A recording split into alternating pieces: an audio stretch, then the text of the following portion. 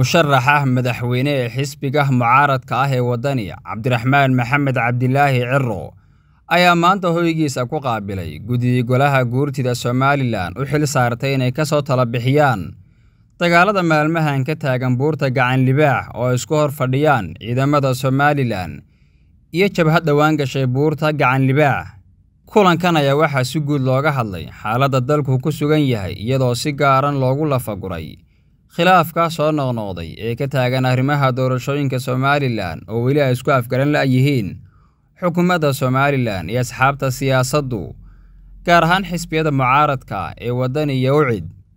Musharaxa madaxweyne ee xisbiga mucaaradka ah ee waddani cabdiraxmaan maxamed cabdilaahi ciro ayaa guddidan golaha guurtidu u soo magacowday inay ka soo tala bixiyaan xaaladda ka taagan buurta gacan libaax waxa uu ku dhiirigeliyey oo uu ku taageeray waawaanta ay wadaan. Waxaana u soo jeediyey inay doorkooda qaataan khaalid cali ismaaciil c b a t v hargeysa.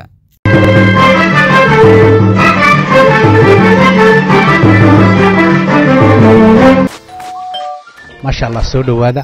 La jaanqaad shirkadda telesom. Maxmil waxay kuu diyaarisay adeegga internetka ay faibar optiga kaasoo xawaarihiisu kala go' lahayn waa guji waa ishaa biligteeda.